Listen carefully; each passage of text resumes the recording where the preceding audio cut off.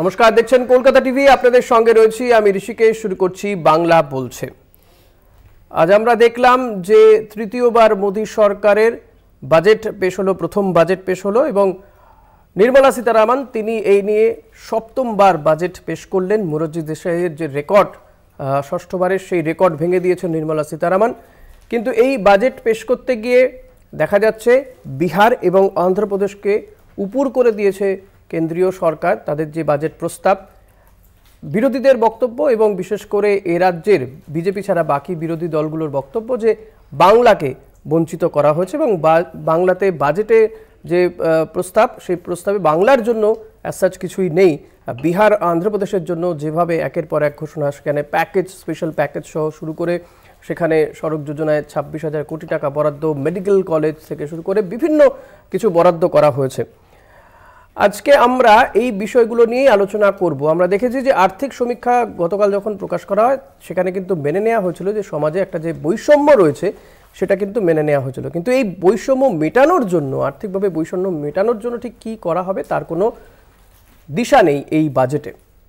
আজকে এই বিষয়গুলো নিয়েও আমরা আলোচনা করব। আমাদের সঙ্গে যারা রয়েছেন অতিথিরা, তাদের সঙ্গে আপনাদের আলাপ করেই দিই। আমার সঙ্গে রয়েছেন তৃণমূল কংগ্রেসের পক্ষ থেকে বৈষ্ণব চট্টোপাধ্যায়। বৈষ্ণব স্বাগত আপনাকে। রয়েছেন বিজেপির পক্ষ থেকে প্রীতম দত্ত, প্রীতম স্বাগত আপনাকে। রয়েছেন কংগ্রেসের পক্ষ থেকে আশুতোষ চ্যাটার্জি, আশুতোষ স্বাগত আপনাকে। রয়েছেন সিপিএমের পক্ষ থেকে অতনু চ্যাটার্জি, অতনু স্বাগত আপনাকে। প্রত্যেকের সঙ্গে এই বিষয়গুলো নিয়ে কথা হবে, তবে শুরুটা যেমন করলাম যে বিহার এবং অন্ধ্রপ্রদেশকে কার্যত হাত উপর করে দিয়েছেন কেন্দ্রীয় অর্থমন্ত্রী নির্মলা সীতারামন। আর একেই অনেকে বলছেন যে শরিক বড় দায় এবং সরকার বাঁচানোর বা কুর্সি বাঁচানোর বাজেট হয়েছে। ঠিক কি ঘোষণা করলেন নির্মলা সীতারামন? শুনুন আজকে। Andhra Pradesh Reorganization Act, for promoting industrial development, funds will be provided for essential infrastructure such as water, power, railways, and roads in Koparthi node on the Visakhapatnam Chennai Industrial Corridor and Varavakal node on the Hyderabad Bangalore Industrial Corridor. An additional allocation will be provided this year towards capital investment for economic growth. Bihar has frequently suffered from floods, many of them originating outside the country. Plans to build flood control structures in Nepal are yet to progress. Our government, through the accelerated irrigation benefit program and other sources, will provide financial support for projects with estimated cost of 11,500 crore rupees. New airports, medical colleges, and sports infrastructure in Bihar will be constructed. An additional allocation to support capital investments will be provided.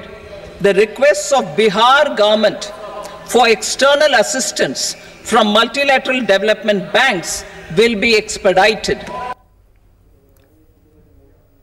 খুব স্বাভাবিকভাবেই বিহারকে যখন উপুর করে দিয়েছেন নির্মলা সীতারামন, বিহারের ক্ষেত্রে কল্পতরু সেক্ষেত্রে বিহারের মুখ্যমন্ত্রী নীতিশ কুমার, তিনি ঠিক কি বলছেন, কি তার রিয়াকশন শুনুন একবার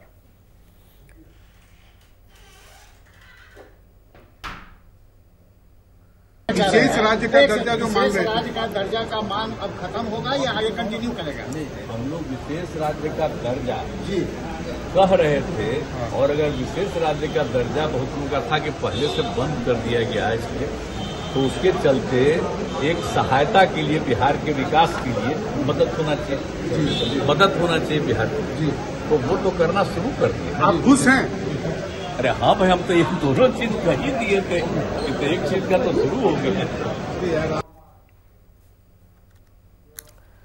শুনলেন আপনারা আমি প্রথমেই আসবো অতনুর কাছে অতনু যে বাজেট এবং বিহার অন্ধ্রপ্রদেশের জন্য কল্পতরু নরেন্দ্র মোদীর সরকার আপনারা এই বিষয়টাকে কিভাবে দেখেন NMN effect Naidu Modi Nitish NMN এফেক্টের ফলশ্রুতি হচ্ছে আজকে এই রকমভাবে নির্দিষ্টভাবে একটা রাজ্যকে আপনি দেখুন মানে এই বাজেট তৈরির আগে গোটা দেশের বিজেপি নেতাদের বক্তব্য ছিল, সমস্ত রাজ্যগুলো যদি এগিয়ে না আসে, তাহলে দেশের অর্থনীতি কী করে চাঙ্গা হবে?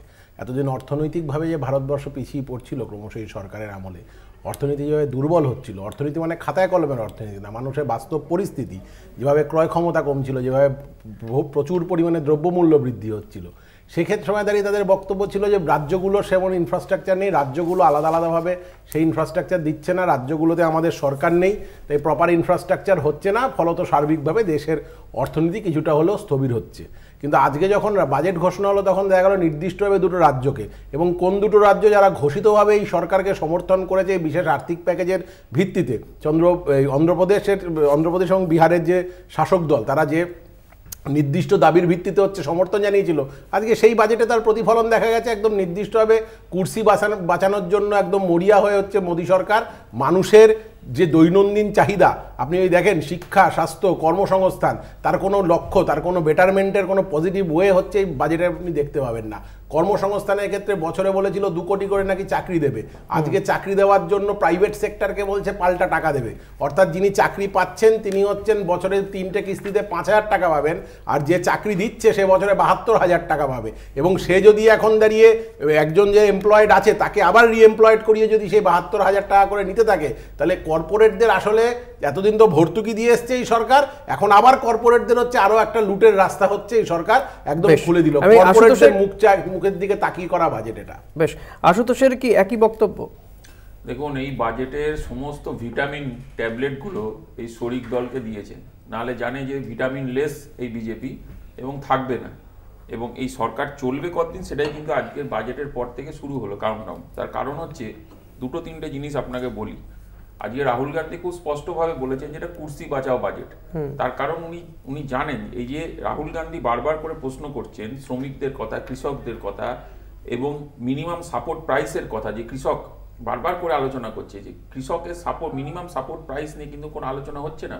এবং এই বাজেটে যে জায়গায় এগ্রিকালচারাল ডেফিসিট চলছে সেটাকে কিন্তু রিবাউন্ড করার জন্য কোনো মেজার কিন্তু আমরা এই বাজেটে দেখতে পাইনি।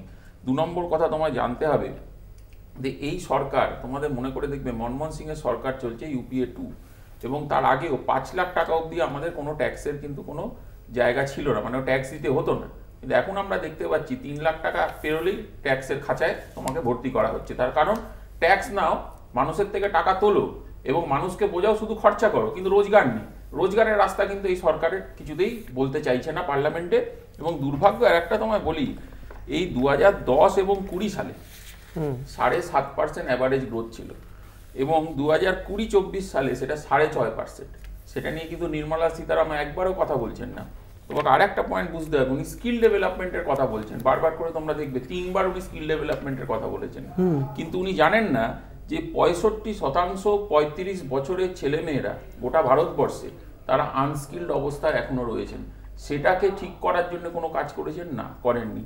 এবং এই ফিফটি নাইন পার্সেন্ট এখনও অবধি ভারতবর্ষের ফিফটি নাইন পার্সেন্ট মানুষ কিন্তু তিন বেলা খাদ্য জোটে না তার। এটা নিয়ে কিন্তু আলোচনা করছেন না। তার কারণ এই বাজেটগুলো যদি তুমি দেখো, যে যে বাড়তি তারা বক্তব্য রাখছেন, নরেন্দ্র মোদী সেজে গুজিয়ে মিডিয়ার সামনে বলছেন, উনি বলছেন না যে এই বাজেটে যে ফুড ইনফ্লেশন সেটা প্রায় nine point five five percent যে সাড়ে সতেরো হাজার টাকার যে উনি বলছেন নির্মলা সীতারামন যে বাঁচানো হচ্ছে মানুষের মানুষের নাকি সেভিং হচ্ছে, কিন্তু উনি ফুড ইনফ্লেশনটা কিন্তু ওখানে ধরেননি। এই ফুড ইনফ্লেশনটা না ধরার জন্য যে চালাকিটা যেটা চলছে, মানুষকে বোকা বানানোর উৎসব এবং রমরমিয়ে যে উৎসব আমরা পার্লামেন্টে দেখলাম চলছে, কেউ টেবিল বাজাচ্ছেন, কেউ হাসছেন, আসলে মানুষ কাজ যে দিনের শেষে ভারতবর্ষে মানুষের অবস্থা দুর্বিষহ। আজকে জিনিসপত্রের দাম কোথায়? আগুন। আপনি যে কোনো বাজারে চলে যান কলকাতার যে কোনো বাজারে চলে যান শহরতলি অঞ্চলের বাজারে চলে যান ভারতবর্ষের যে কোনো বাজারে চলে যান পেঁয়াজ আলু থেকে শুরু করে সমস্ত জিনিসের দাম আপনি বলছেন সেই সমস্ত কিছু আর মানে এখানে মোবাইলের দাম করছে আপনি ভাবুন মোবাইলের দাম কমছে। মোবাইলটা কে কিনবে? নরেন্দ্র মোদী অমিত শাহ না আদানি আম্বানি কিনবে? কে কিনবে মোবাইলটা? এই মোবাইলটা কেনার মতন এবং এবং মানুষের কাছে অর্থনীতি নেই। মানে টাকা- না এলে কি করে ঠিক ঠিক। আমি আবারও আসব বাকিদের কাছেও আসব একটা ছোট্ট বিরতি নেওয়ার সময় হয়ে গেছে একটা ছোট্ট বিরতি নিয়ে ফিরে আসব এই আলোচনায়।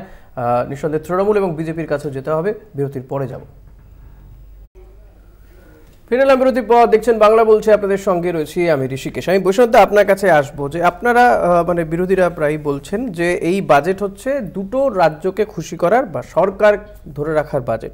এটা কেন মনে হচ্ছে? প্রথমে বলব যে এই বাজেটটা হলো জিরো গ্যারেন্টি জিরো ওয়ারেন্টি এটা বাংলাকে মানে কনস্ট্যান্টলি ডিপ্রাইভ করেছে কেন্দ্রীয় সরকার। আপনারা জানেন যে ওদের ওদের সঙ্গে থাকলে তবে তাদেরকে সেই রাজ্যকে অনুদান দেওয়া হবে, কেন্দ্রীয় বাজেট থেকে তাদেরকে দেওয়া হবে। আর ও যে বা যে স্টেট ওদের সাপোর্ট করবে না, তাকে দেবো না। এটা যদি একটা ইউনিয়ন গভর্নমেন্টের বাজেট হয়, তাহলে তো অদ্ভুত ব্যাপার। এটা তো অন্ধ্রপ্রদেশে তেলেগু দেশমকে খুশি করার জন্য আর বিহারে নীতিশ কুমারকে খুশি করার বাজেট হয়েছে। এটা কি ভারতবর্ষের বাজেট হলো? এখানে বাংলার জন্য কি দিয়েছে? কেন বাংলাকে ডিপ্রাইভ করা হয়েছে? শুভেন্দু বললেছেন কিছুদিন আগে যে আমরা সবকা বিকাশ, সবকা সাথ না, আমরা আমরা তাদের সাথেই আছি, যারা আমাদের সাথে আছে। তাহলে তো সেটাই তো ট্রুলি দেখা যাচ্ছে, সেটাই হলো।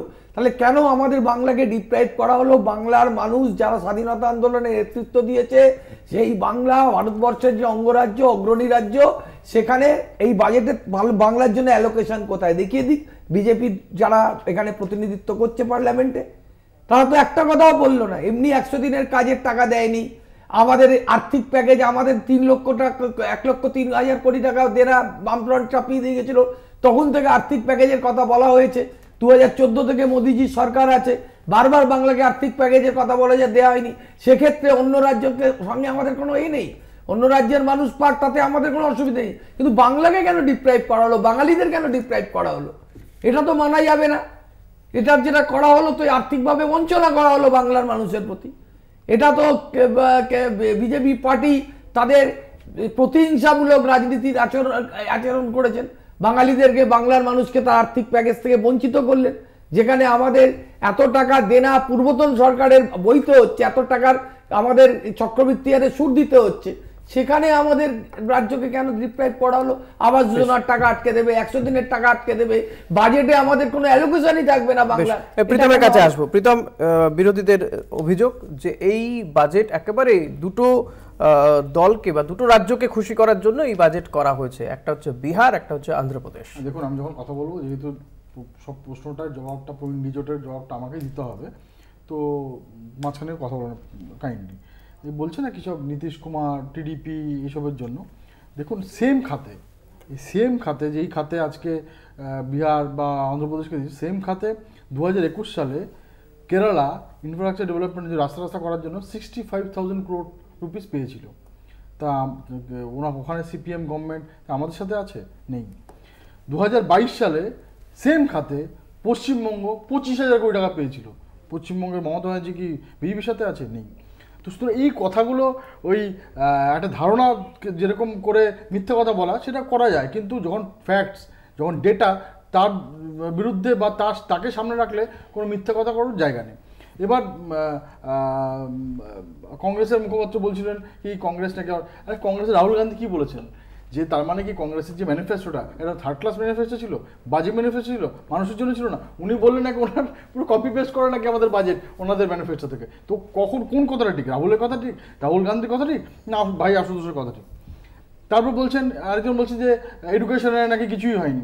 প্রায় এই এই বাজেটে one point four eight lakh crore education employment and skill development এগুলো সবকটাই তো এডুকেশনের মধ্যে পড়ে, সেটাতে খরচা করা হচ্ছে। শুধু ইউনিভার্সিটিতে পাঁচ চার হাজার কোটি টাকা এক্সট্রা খরচা করা- হচ্ছে। এখন টোটাল হয়ে গেছে, তার এলোকেশন হচ্ছে fifteen thousand nine twenty eight crore rupees তারপর আজ- আজকে দেখুন সামান্য মধ্যবিত্তদের জন্য যারা এডুকেশন লোন নিয়ে পড়াশুনো করে, তাদের পাঁচ লাখ টাকার লোনটা দশ লাখ টাকা করে দেওয়া হয়েছে। আজকে প্রায় পাঁচটা স্কিম নেওয়া হয়েছে যাতে ইউথফুলরা আরও বেশি করে চাকরি পায়। প্রায় এক এক কোটি ইউথদের ইন্টার্নশিপ দেওয়া হবে পাঁচশোটা লিডিং কোম্পানিতে তার জন্য ইন্টার আপনার পাঁচ হাজার টাকা করে ইন্টার্নশিপ দেওয়া হবে। তো এই যে ইউথ থেকে শুরু করে মহিলা মহিলাদের জন্য আপনারা বারবার শুনেছেন লাডলি ব্যান্ড যোজনা থেকে শুরু করে আজকে দ্রোণ দিদি থেকে শুরু করে শুধু মহিলাদের জন্য কয়েক লাখ কোটি টাকার প্যাকেজ আজকে এই বাজেটে আছে। আজকে দেখুন এই যে কথাগুলো যে বলছি, এগুলো কিন্তু কোনোটা মানে জাস্ট পলিটিক্যাল কথাবার্তা না। ইন ফ্যাক্টস বলছি যেগুলো বাজেটটা রয়েছে, ভালো করে পড়াশোনা করলে বোঝা যাবে। সুতরাং যে যে এই এই যেই কথাগুলো মানে সিক্সটি ফাইভ থাউজেন্ড করোড় দু হাজার একুশে কেরালা পেয়েছে। তো সেটাও কি আমরা মানে কেরালার থেকে আমরা সাপোর্ট পেয়েছিলাম? তখন তো আমাদের তিনশো তিনটা সরকার ছিল, তিনশো তিনের আমাদের সংখ্যা ছিল। কথাটা হচ্ছে যখন একটা প্যাকেজ ঘুরিয়ে ফিরিয়ে আপনার কোনো না কোনো রাজ্যকে কোনো না কোনো ডেভেলপমেন্ট করা হয়। আজকে হিমাচল প্রদেশ। হিমাচল প্রদেশে তো কংগ্রেসের গভর্নমেন্ট ওখানে আমরা দেখেছি কীভাবে করে ফ্লাডে বিধ্বস্ত হয়ে গেছে। তো সেখানে আজকে ওখানে ফ্লাড ফ্লাডের জন্য আজকে আলাদা একটা প্যাকেজ দেওয়া হয়েছে। তা সেখানে কি আমাদের গভর্নমেন্ট নাকি কংগ্রেসের সাথে আমাদের কোনো টাই আপ আছে? তো সুতরাং পলিটিক্যাল পলিটিক্স কথা বলতেই যে সব কিছু করতে হবে তাই নয়। ডেটা দেখতে হবে ডেটা দেখে তার ভিত্তিতে আপনি বলছেন যে রাজনীতির যে অভিযোগ করা হচ্ছে রাজনীতি বাজেট সেটা নয়। আপনাকে একটু বলি এই যে উচ্চশিক্ষার জন্য দশ লক্ষ টাকা পর্যন্ত ঋণ এক লক্ষ পড়ুয়াকে শিক্ষা ঋণ শিক্ষা প্রশিক্ষণে ওয়ান পয়েন্ট ফোর এইট কোটি টাকা বরাদ্দ। কিন্তু প্রশ্ন থাকে যে এই উচ্চশিক্ষা পর্যন্ত একটা ছেলেকে বা মেয়েকে যেতে গেলে তার যে একেবারে বুনিয়াদী শিক্ষা সেই শিক্ষার খরচ কি কমানো হলো? আপনি ফ্লাডের কথা বললেন আমি একটা বিরতিতে যাব। আমি জাস্ট বলে দিয়ে যাচ্ছি। নিঃসন্দেহে এই বিষয়গুলো নিয়ে আমরা আলোচনা করব। আপনি ফ্লাডের কথা বা বন্যার কথা বললেন। নিঃসন্দেহে আসাম বা হিমাচলে সেখানে বন্যা হয়। এই রাজ্যও কিন্তু বন্যায় বিধ্বস্ত হয় প্রত্যেক বছর। এই রাজ্যের জন্য বরাদ্দ বলতে পারবেন বলে মনে হয় না। এই সমস্ত বিষয়গুলো নিয়েই আমরা আলোচনা করব একটা ছোট্ট বিরতির পর। সঙ্গে থাকবেন। ফিরে এলাম বিরতির পর। দেখছেন বাংলা বলছে আপনাদের সঙ্গে আমি ঋষিকেশ। আমি আশুতোষ আপনার কাছে আসব। যে কথা প্রীতম বলছেন যে এই যে আপনারা বলছেন বারবার করে বিহার ইউপির জন্য বাজেট কিন্তু এর আগের বাজেটগুলোতে ওরা কেরল বা অন্যান্য রাজ্যের ক্ষেত্রেও তো এই ধরনের বাজেট প্রস্তাব করা হয়েছে। তাহলে শুধুমাত্র এই দুটো রাজ্যের ক্ষেত্রে কেন বলছেন? আমি বলব যে বিহার উড়িষ্যা কিংবা মহারাষ্ট্রে, সেখানেও তো বিজেপি অনেকগুলো আসন পেয়েছে। কই, তাদের জন্য তো এই ধরনের কোনো প্যাকেজ বা কিছু ঘোষণা করা হয়নি। দেখুন, একটা কথা বলি। প্রীতমদা অনেক কিছু বলছিলেন, আমরা খুব মন দিয়ে শুনছিলাম। কিন্তু এগুলো মোদিজি শুনতে পাচ্ছেন আমরা শুনতে পাচ্ছি। বিষয় যেটা হচ্ছে যে এই যে বাংলাকে বঞ্চনা করা হলো বা বাংলাকে কিছু দেয়া হলো না, বিজেপির সাংসদদের তো আজকে দেখলাম না পার্লামেন্টে কোনো মুভমেন্ট করতে, চেঁচামেচি করতে, বা তৃণমূলেরও কোনো সাংসদকে দেখলাম না পার্লামেন্টে চেঁচামেচি করতে কোনো মুভমেন্ট করতে। তাদের তো উচিত ছিল যে ধর্ণা দেওয়া, তার কারণ বাংলাকে বঞ্চনা করা হয়েছে। আমরা তো দেখতে পাইনি। এটা একটা অদ্ভুত মিস্টিরিয়াস সার্কামস্ট্যান্সেস পলিটিক্সে আমি দুটো কথা শুধু বলি। একটা হচ্ছে ইলেকট্রাল বন্ডে সরকার চলছে। এখন এই সরকার কি করবে, না করবে, বোঝা মুশকিল। তার কারণ ইলেকট্রাল বন্ড যারা দিচ্ছে, তাদের কথায় চলতে হবে। এ এ আরও আছে, দুটো এ তো আছেই আমরা, আপনারা জানেন। তার সাথে একটু আমি আপনাকে কিছু স্ট্যাটিস্টিক্স দিই আপনি বুঝতে পারবেন। হচ্ছে যে বাহাত্তর হাজার একশো সাতান্নটা স্কুল ইতিমধ্যেই মোদী সরকারের জামানায় গভর্নমেন্ট স্কুল শাটডাউন হয়েছে। মানে সেগুলোকে আর খুঁজে পাওয়া যাচ্ছে না। লাস্ট ছ বছরে সাড়ে পাঁচশো ইঞ্জিনিয়ারিং কলেজ যেখান থেকে ভারতবর্ষের কৃতি ছাত্রছাত্রীরা তৈরি হবে, ভারতবর্ষকে আগে নিয়ে যাবে। সেই ইঞ্জিনিয়ারিং কলেজগুলো বন্ধ হয়ে গেছে। এটা কি মোদী সরকার জানেন? আমি জানি না। এখন মিড ডে মিল স্কিমের নাম দিয়েছেন প্রধানমন্ত্রী পোষাণ পোষাণ শক্তি নির্মাণ। বাহ! পশ্চিমবঙ্গে যদি আমি মিড ডে মিলের কথায় আসি, যেহেতু আমরা এখানে বাস করি, পাঁচ টাকা পঁয়তাল্লিশ পয়সা হচ্ছে পার হেড কস্ট চাইল্ড একটা ডিমও হয় না ঠিক করে। তার মানে বুঝুন, এই মিড ডে মিলের অ্যালোকেশনটাও ঠিক মতন নেই। আপনি দেখবেন অ্যালোকেশন ওয়াইজ স্টেট ওয়াইজ আপনি অ্যালোকেশন দেখবেন, ভুলভাল আছে। আরও আপনার জেনে রাখা দরকার। এই যে বিভিন্ন ক্ষেত্রে আমরা দেখতে পাচ্ছি, এই যে আবার আমি একটু ফিরে যেতে চাই, দু কোটি চাকরি। আমি বলেছি, আপনি বলেছেন, মোদি বলেছে। এখন দু কোটি চাকরি, কুড়িটা ঠিক মতন চাকরি হয়েছে না সন্দেহ। তার কারণ এমএসএমই যদি আপনি দেখেন, কোভিডের সময় কোভিড কালে যেটা অমৃতকাল, মোদিজি বলেন, সেখানে ধরাশায়ীভাবে বন্ধ হয়েছিল এমএসএমই। এবং সেই এমএসএমইকে বুস্ট আপ করার জন্য যে মুদ্রা লোনের কথা আমরা শুনতে পাচ্ছি সেই মুদ্রা লোন সেই মুদ্রা লোন যে ফ্লপ এটা আগের বাজেটে প্রমাণিত। তার কারণ আপনাকে একটা বলে দিই বাজেটের একটা টেকনিক্যাল পার্ট হলো বাজেটারি অ্যালোকেশন আর রিভাইজড অ্যালোকেশন এই রিভাইজড অ্যালোকেশন বাজেটারি অ্যালোকেশনের ভেতরে দেখবেন একটা বিস্তর ফারাক আছে। আপনি স্ট্যাটিস্টিক্সটা দেখে নেবেন একটুখানি। এবং এই সরকার মোদী সরকার যে খরচা করছে না পাবলিকের যে ডেভেলপমেন্টের জন্য ডেভেলপমেন্ট স্কিম পার্লামেন্টে টেপ রেকর্ডারের মতন চালানো হচ্ছে। কিন্তু রুট লেভেল ইমপ্লিমেন্টেশন কিন্তু সেটা হয় না সেই অর্থটা গিয়ে পৌঁছয় না। এবং তাতে যে ডেফিসিট দেখা যাচ্ছে একটা জিনিস একটু মনে হ্যাঁ, করিয়ে দিতে চাইব যে আপনি যেটা বলছেন দু কোটির চাকরি এটা তো ঠিকই যে সরকার এখন বুঝতে পেরেছে যে হাওয়ায় হাওয়ায় কথা বললে হবে না। সে কারণে এবার দেখুন পাঁচ বছরে চার দশমিক এক কোটি চাকরির প্রতিশ্রুতি তারা দিচ্ছে। একটা কথা বলি। আর দু কোটি চাকরির না, কথা তারা এবার গল্পের গরু গাছে উঠবে আমরা জানি। এখন ব্যাপার হচ্ছে পেজ নাম্বার থার্টি আর পেজ নাম্বার ইলেভেন ওই প্রীতমদা বলছিল ম্যানিফেস্টোর কথা, কংগ্রেসের ম্যানিফেস্টোটা উনি একটু রাত্রেবেলা পড়াশুনো করেন, কেন উনি বুঝতে পারছেন তো, জার্কটা কোথায় আছে নি জার্ক রিয়াকশন এই ভোটেই পেয়ে গেছে। এবং আপনাকে একটা জিনিস বুঝতে হবে, যে চায়নার বিরোধিতা এই সরকার মুখে আমরা দেখতে পেলাম, সেই চাইনিজ এফডিআই একটু খোঁজ নেবেন। এই চাইনিজ এফডিআইয়ের ওপরে কিন্তু আরও বাড়ছে চাইনিজ এফডিআই। কোনো প্রশ্ন করেছেন মোদী সরকার? এবং চাইনিজ এফডিআই যেতে free flow and entry to the trade এই ট্রেড এবং টোটাল যে সার্কেল এই চাইনিজ এফডিআইটা বারবারন্ত আমরা দেখতে পাচ্ছি এই মোদী আপনি বঞ্চনার কথা বলছিলেন বাংলাকে বঞ্চনার কথা যে কথা বৈষ্ণবদাও বলছেন। মমতা বন্দ্যোপাধ্যায় তিনিও বলছেন যে বাংলার জন্য কিছু নেই বঞ্চনা করা হয়েছে বাংলাকে এই বাজেটে মমতা বন্দ্যোপাধ্যায় কি বলেছেন একবার শোনাবো। আমি এখনও পর্যন্ত আপনাদের কাছ থেকে শুনে ও। থ্রু মিডিয়া প্রেস এবং নানা লোকের কাছ থেকে শুনে। ক্লারিফিকেশন নিয়ে। আমি এটুকু জানতে পারলাম, বাংলাকে সম্পূর্ণভাবে বঞ্চিত করা হয়েছে। বাংলা কারও দয়া চায় না। কিন্তু বাংলার সম্মান যদি বিঘ্নিত হয়, বাংলার মানুষ কিন্তু তখন গর্জন করবে, ছেড়ে কথা বলবে না। আমি এরকম কখনো দেখিনি। একটা সরকার শেয়ারের টাকা দিয়ে শেয়ার স্ক্যাম করে আর আর্থিক প্যাকেজ করে শুধুমাত্র অর্থ দিয়ে মিনিস্ট্রি না দিয়ে স্পিকার পদ না দিয়ে, শুধু সরকারকে কেন আমি দোষ দেবো? সরকারকে একটা পদ দোষ দেবো যে পার্টিগুলো আছে তারা ইনভলভ তারা এটা অ্যাকসেপ্ট করেছে। কেন করেছে? অন্ধ্রপ্রদেশ বিহারকে টাকা দিয়েছে আমার কোনো আপত্তি নেই? তারাও আমাদের দেশ। কিন্তু একজনকে দিতে গিয়ে আর একজনকে ডিসক্রিমিনেট করা যায় না। এই জায়গাতেই প্রীতমের কাছে আসব। প্রীতম যে কথা মমতা বন্দ্যোপাধ্যায় বলছে কংগ্রেসেরও তাই বক্তব্য যে নিঃসন্দেহে বিহার ইউপিকে অন্ধ্রপ্রদেশকে দিয়েছে অসুবিধে নেই। কিন্তু বাংলাকে কেন বঞ্চনা করা হলো? আপনি বলতে পারবেন যে এই রাজ্যের জন্য কি ঘোষণা করল এই বাজেটে কি আছে এই রাজ্যের জন্য? এর আগে যে মমতা ব্যানার্জি যখন ইউপি ওয়ান বা ইউপি টুতেও ছিলেন কিছুদিনের জন্য UPO ওয়ানে ছিল। টোটাল টোটাল যে টাকাটা পেয়েছিল তার ম্যাক্সিমাম পেয়েছিল হচ্ছে ফিফটি এইট থাউজেন্ড ক্রোড আর মোদী সরকার দু হাজার চোদ্দ থেকে দু হাজার তেইশ অবধি অলরেডি দু লাখ কোটি টাকা বাংলার জন্য দিয়েছেন। আমরা জানি সবাই, সবার বাড়িতে জল পৌঁছে যাচ্ছে, ষোলো হাজার কোটি টাকা যেদিনকে আমরা দু হাজার একুশের রেজাল্ট বেরোয়, তার সাত দিনের মধ্যে আট হাজার কোটি টাকা দিয়ে দিয়েছিলেন।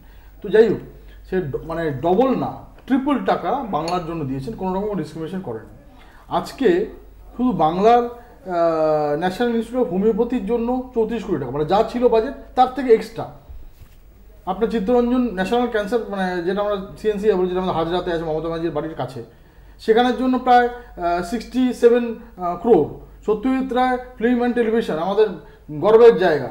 যেখানে বাংলার কৃতি ছাত্ররা নানা ধরনের ক্রিয়েটিভ প্রোডাকশন করে থাকে। সেখানে প্রায় sixty seven crore sorry forty six crore Indian ISI একদম শতাব্দী প্রাচীন আমাদের ঐতিহ্যের মধ্যে পড়ে। তার জন্য extra twenty crore Asiatic Society এই আছে আমাদের পার্কস্ট্রিটে প্রায় twenty one point five crore Victoria Memorial eleven crore Indian Museum nine point seven crore Maulana Abdul Kalam Institute of Asian Studies two point two crore Raja Rammohan Roy library foundation six point five crore Bose Institute of Kolkata প্রায় একশো কোটি টাকা। অনেক টাকা পেয়ে India Indian Science Congress Association প্রায় ছ কোটি টাকা। S N Bose centre basic science প্রায় আপনার পঞ্চান্ন কোটি টাকা। লম্বা কলকাতা মেট্রো নশো ছয় কোটি টাকা। তো এবার বরাদ্দটা আরেকটা কমিয়ে দেওয়া কথা হলো। বলি। কলকাতা মেট্রোর জন্য বরাদ্দ কমানো হয়েছে। না নশো কোটি টাকা আর নশো ছ আরেকটা- কোটি টাকা কমানো কাজ এখনও শেষই হচ্ছে না এটা নশো ছ হচ্ছে কোটি বরাদ্দটা কমানো হয়েছে। আরেকটা কথা হচ্ছে, আরেকটা রাজ্যের কথা বলি, প্রকল্পই না। যে কলকাতা কলকাতা মেট্রো মেট্রো এমন একটা প্রকল্পই না, সারা পৃথিবী- কেন্দ্রীয় সারা প্রকল্প। ভারতবর্ষে এমন একটা মেট্রো যেটা Centrally 100% রেলের- সেন্ট্রাল ফান্ডে তৈরি করা আমি কেএমআরসি কথা বলছি না অনলি কলকাতা মেট্রো প্রীতম বলুন 100% central প্রীতম fund বলুন রাজ্যে এই- রাজ্যে কি বন্যা হয় না খাতার মাস্টার প্ল্যান কথা বাংলার- বাংলার চাকরি না। কাজে আমি জমি দেবো না। রেলে দশ হাজার কোটি টাকার প্রকল্প আটকে রয়েছে জমি দিচ্ছে না। ও আপনার বর্ডারে ফেন্সিং করে যাচ্ছে না জমি দিচ্ছে না। আপনার ওখানে ওই এক প্রোডাক্ট এক যে বড় মল করার কথা প্রত্যেকটা আপনার স্ট্র্যাটেজিক লোকেশনে বর্ডারে। সেটা সেটা দিচ্ছে না। তো সুতরাং মমতা ব্যানার্জি শুধু পলিটিক্স করলে হবে না। আরে? আপনারা জমি দিচ্ছেন না, কাজ করতে- কেন্দ্র কাজ করতে পারছে না। এটাই হলো এখানকার বিজেপির এই যে আর আমরা একটা কথা বলি। একটা কথা বসে বলতে সুবিধা হবে মিথ্যে বলে আরে আমি তো ডেটা আরে মোদি বাদ দিয়ে কথা আমি একটা কথা বলি যে একটু আগে শামসেরগঞ্জ, মুর্শিদাবাদ, চব্বিশ? পরগনা, আমরা দেখলাম তো চব্বিশ পরগনা, দেখুন yes, কত টাকা কত হাজার কোটি টাকা দেওয়া হলো তা দিয়ে কত কীভাবে দুর্নীতি হয়েছে আমরা সেটা দেখেছি। মমতা ব্যানার্জি গিয়ে বলেছিলেন সে আমফানের সময় যে টাকা দেওয়া যাবে না দুর্নীতি করছে।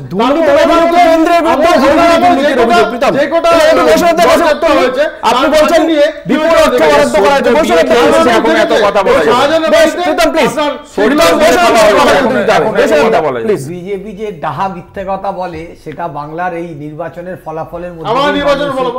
তাতে মানুষ বুঝিয়ে দিয়েছে মানে এদের যে মিথ্যের পর মিথ্যে আমরা দাবি করেছি ভারতবর্ষের বিজেপি তো নিজের পকেট থেকে টাকা দিচ্ছে না, যেন মনে হচ্ছে, এই টাকা দিয়েছি মানে মোদীবাবু নিজের পকেট থেকে টাকা দিচ্ছে। তা নয়। আমাদের এখান থেকে রেভিনিউ তুলে নিয়ে যায় কেন্দ্রীয় সরকার। সেই টাকা ভারতবর্ষের কেন্দ্রীয় সরকার তার এখানে দেবার কথা। আপনি বিহারের কে কত অ্যালটমেন্ট করেছে আর অন্ধ্রপ্রদেশকে কত অ্যালটমেন্ট করেছে তার পাশে আমাদের বাংলাকে অ্যালটমেন্টগুলো আপনি আমি একটু বৈশাখাকে সংযোজন করে দিই বিহারের থেকে জিএসটি পেমেন্ট পশ্চিমবঙ্গের অনেক বেশি আমি তো সেটাই বলছি যে আমাদের এখান থেকে কত টাকা রেভিনিউ তুলে নিয়ে কেন্দ্রীয় সরকার নিয়ে যাচ্ছে আর সেই টাকা পশ্চিম বাংলার মানুষের জন্য কত পার্সেন্ট ফেরত আসছে সেটা আগে জাজমেন্ট হোক বেশ? করে করে করে আপনাকে বলতে। দিয়েছি আমি বাকিদের বলতে সময় দিতে হবে প্লিজ অতনু প্রীতমদা বলার সময় বললেন যে ইন্টার্নদের জন্য বছরে পাঁচ হাজার করে দেওয়া হবে। বছরে পাঁচ হাজার, অর্থাৎ কিনা মাসে কিন্তু চারশো টাকা। তাও তিনটে কিস্তিতে মানে ওই ষোলোশো টাকা করে তিনবার হচ্ছে বছরে দেওয়া হবে। আর যে এমপ্লয়ার যে কর্পোরেটকে চাকরি দিচ্ছে, তাকে এক বছরে বাহাত্তর হাজার টাকা দেওয়া হবে। তার মানে মানুষের অর্থ মানে এটা তো ট্যাক্সের টাকা তো আমাদের টাকা। আমাদের টাকা ঘুরপথে কর্পোরেটদের সিন্ধুক অব্দি পৌঁছে দেওয়ার দায়িত্ব মোদী সরকার নিয়েছে। আর কোন সময় এই প্রকল্প নেওয়া হলো? যেই সময় গোটা দেশে বৈষম্য, আয়ের বৈষম্য বলুন বা কর্মসংস্থানের ক্ষেত্রে বৈষম্য বলুন সব থেকে বেশি। আর কারণ কর্মরতদের আবার করে কাজে ঢুকিয়ে আরেকটা দুর্নীতি হওয়ার জায়গা রয়েছে। প্রধানমন্ত্রী এর আগে বলেছেন, সবকা সাথ, সবকা বিকাশ, গ্রামীণ ভারতের উন্নয়ন। সারে ভর্তুকি কমেছে বছরের বাজেটে চব্বিশ হাজার আটশো চুরানব্বই কোটি টাকা। খাদ্যে ভর্তুকি কমেছে সাত হাজার বিরাশি কোটি টাকা। যে খাদ্যদ্রব্যে মূল্যবৃদ্ধি এখন অবধি স্বাধীনতার পরে সর্বোচ্চ চলছে এই সময় দাঁড়িয়ে। প্রীতমদা বলল দু হাজার বাইশ সালে নাকি কেরালকে অনুদান দেওয়ার কথা। এটা কিন্তু বলল না যে অর্থ কমিশন যে অর্থ কমিশন অর্থের যোগান দেয়। এই অর্থ কমিশন দু হাজার বাইশ তেইশ সালে দিয়েছিল এক লক্ষ বাহাত্তর হাজার সাতশো কুড়ি কোটির যোগান দিয়েছিল। সেই অর্থ কমিশন তেইশ চব্বিশে কমে হলো এক লক্ষ চল্লিশ হাজার কিছু কোটি আর চব্বিশ পঁচিশে সেটা কমে হলো এক লক্ষ বত্রিশ হাজার কোটি।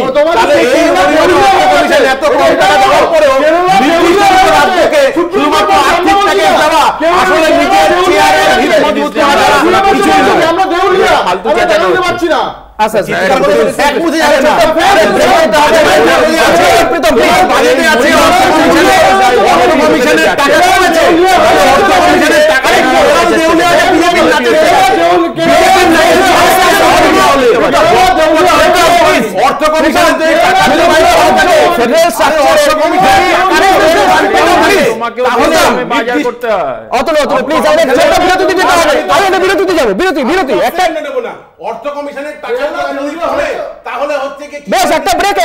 যেতে হচ্ছে অতনু বেশ একটা ব্রেকে যাব ব্রেকের পরে ফিরে আসছি সঙ্গে থাকবেন ফিরে এলাম বিরতির পর। বাংলা বলছে, একদম শেষ পর্বে রয়েছে আমি। আশুতোষ, আপনার কাছে আসব। এই যে আপনারা বারবার বলেন যে ফলাফল বিজেপির পক্ষে যায়নি, আর সেই ফলাফলের জন্যই এবং বিজেপিকে শরিকদের ওপর নির্ভর করে সরকার গঠন করতে হয়েছে, বেশি দিন টিকবে না এই সরকার।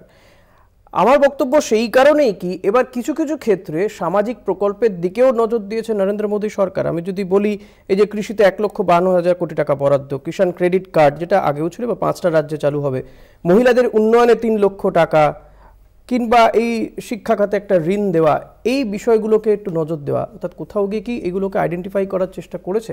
সরকার। দেখো ওই যে ঋণের কথা বার- বারবার করে বলা হচ্ছে ঋণটা কি করে মেটাতে হবে তো? ঋণ না মেটালে কি হবে? ঋণ মেটানোর মতন অবস্থা কোথায়? এই বর্তমান অর্থনীতির যে অবস্থা মোদি জমানায় ঋণ মেটানোর মতন জায়গা নেই। আমি তোমাকে দুটো কথা বলি। রিজার্ভ ব্যাংকের গভর্নরের অবজারভেশন বলছেন যে ব্যাংকের যে সেভিং মানে মানুষ যে বাঁচাচ্ছে টাকা ব্যাংকে সেটা কিন্তু দিনের পর দিন কমতে কমছে সঞ্চয় কমে যাচ্ছে। হ্যাঁ তো মানুষ কোথা থেকে? ইনকাম নেই তো। সরকার বলছে খরচা করো কিন্তু ইনকামের জায়গা কোথাও নেই। এটা অদ্ভুত ব্যাপার। আর একটা হচ্ছে এই যে বিকশিত ভারত দেখবেন মোদিজি মাঝে মধ্যেই বলেন Viksit Bharat per capita yearly income ভারতবাসীর ছগুণ বাড়াতে হবে এইসব গল্প শোনানোর জন্য। সেটা কোথায়? এক গুণও বাড়েনি টেন পার্সেন্ট ইনক্রিজ হয়নি। এটা জেনে রাখো। তিন নম্বর কথা, এই রেলওয়েজের কথা এতক্ষণ ধরে আলোচনা হচ্ছিল। আজকে এত লম্বা বাজেট বক্তৃতায় রেলের কথা একবার মাত্র শোনা গেছে। এটা জেনে রাখো, রেলের স্টকগুলো আজকে দেখবে সব পড়েছে, দেড় পার্সেন্ট দু পার্সেন্ট করে সব স্টক পড়েছে মার্কেটে আর একটা কথা তোমায় বলি, বারবার করে আলোচনা হচ্ছে আসলে ইন্ডিয়ান এয়ার আমরা কি বলছি ছেড়ে দাও। ইন্ডিয়ান এয়ারফোর্সের বর্তমান ভাইস চিফ মানে ভাইস চিফ এয়ার মার্শাল যিনি উনি বলছেন আত্মনির্ভরের ঠেলায় এই এয়ারফোর্স যাতে বেখাপ্পা না হয়ে যায়। তার মানে বুঝতে হবে যে ভারতবর্ষকে শুধু মার্কেটিং গিমিক বানিয়ে পলিটিক্যাল এজেন্ডার ভেতরে ঠেলে দিয়ে ভারতবর্ষের যে রিয়াল ডেভেলপমেন্টের কথা যেটা ইনক্লুসিভ গ্রোথের কথা বলে ইন্টিগ্রেটেড গ্রোথের কথা বলে মানে that growth which touches every household মানে প্রত্যেকটা বাড়িকে তৈরি করা। এই যে চিন্তা ভাবনা এই চিন্তা ভাবনা এই সরকারের আছে বলে আমার আপনার বা কারুর এখানে মনে হচ্ছে না বিজেপিরও মনে হচ্ছে না। বৈষ্ণবদা এই ক্ষেত্রে কি বক্তব্য? যে এই যে ভোটের ঠেলায় কিছুটা কি সামাজিক প্রকল্পের দিকে নজর দিতে বাধ্য হচ্ছে নরেন্দ্র মোদী সরকার? না একটা জিনিস পরিষ্কার হয়ে গেছে যে এই বাজেট সাধারণ মানুষের বাজেট নয়। আপনার কর্পোরেটের উন্নতি হলো বা একশোটা পরিবারের আর্থিক বিরাট সাফল্য হলো সেটা তো হবে না। আপনাকে তো সাধারণ মানুষের কি উপকার উপকার হলো এই বাজেট থেকে? সেটাকে বিবেচনা করতে হবে। প্রান্তিক মানুষের আপনি হ্যাঁ, বলুন না এই যে হাই রাইজ মানে মুদ্রাস্ফীতি হচ্ছে এই যে আপনার রান্নার গ্যাস পেট্রোল ডিজেলের দাম বৃদ্ধি বা নিত্য প্রয়োজনীয় জিনিসের দাম বৃদ্ধি বা বেকার এই বেকারি একটা বড় এজেন্ডা ভারতবর্ষের এই মুহূর্তে সবচেয়ে বার্নিং ইস্যু কোনো আলোকপাত আছে এই বাজেটে এই বাজেট তো কাদের জন্য? এই বাজেট তো যারা একশোটা পরিবার যারা ফুলে ফেঁ পেয়ে গেছে মোদী সরকারের, তাদের পক্ষে গেছে। সাধারণ মানুষের পক্ষে কোথায় গেল? আমরা তো যেরকম বাংলার মানুষ বঞ্চনা হয়েছে তার সঙ্গে সঙ্গে দেশের মানুষকে কোনো দিশা দেখাতে পারিনি এই বাজেট বেশ অত- অতনুর কি বক্তব্য যে প্রান্তিক মানুষ? শ্রমজীবী মানুষের কি আদৌ কোনো এই বাজেটে তাদের দিশা রয়েছে তাদের জন্য? ভারতবর্ষে কর্মসংস্থানের সব মানে এই সময় দাঁড়িয়ে বেকারিত্বের হার ভারতবর্ষে স্বাধীনতা পরবর্তী ভারতবর্ষে সর্বোচ্চ বেকারিত্বের হার চলছে। এবং বেকারিত্বের মধ্যে যে জিনিসটা সবচেয়ে বেশি উদ্বেগপূর্ণ সেটা হচ্ছে ছদ্ম বেকারত্ব। দেখুন কোনো কাজকে আমরা ছোট বলে মনে করি না। কিন্তু একজন মানুষ যখন তার যে যোগ্যতা সেই যোগ্যতার থেকে কম যোগ্যতার কাজ করতে বাধ্য হন সেটাকে অর্থনীতি ভাষায় বলে ছদ্ম বেকারত্ব ভারতবর্ষ জুড়ে আজকে এই ছদ্ম বেকারত্বের সংখ্যা হু হু করে বাড়ছে এবং সবচেয়ে বড় যে জায়গাটা হচ্ছে রয়েছে ভারতবর্ষে অসং- অসংরক্ষিত ক্ষেত্রে অসুরক্ষিত মানে অসংগঠিত অসংগঠিত ক্ষেত্রে। অসংগঠিত ক্ষেত্রের যারা সঙ্গে যারা যুক্ত তাদের কোনো রকম রিলিফের জন্য তাদের সিকিউরিটির কোনো রকম আলোকপাত হচ্ছে এই বাজেট করা হয়নি।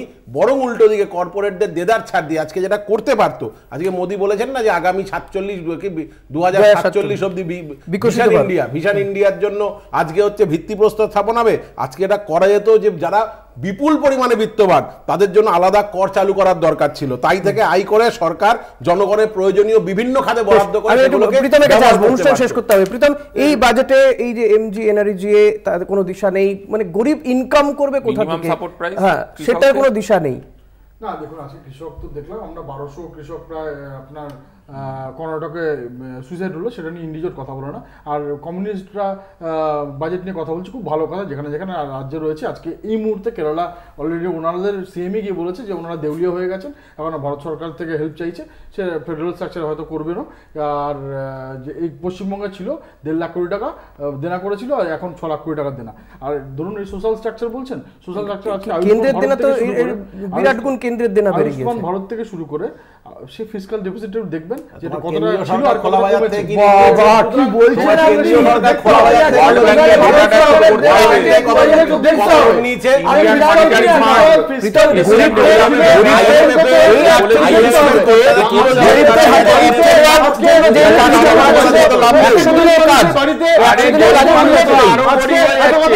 বলল তাহলে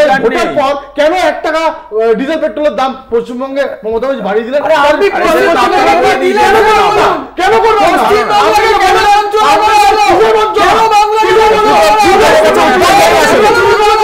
কাছে উত্তর নেই। যে গরিবদের জন্য এই বাজেটে কি ছিল। একশো দিনের কাজ সেই একশো দিনের কাজের কোনো আলোকপাত নেই এই বাজেটে।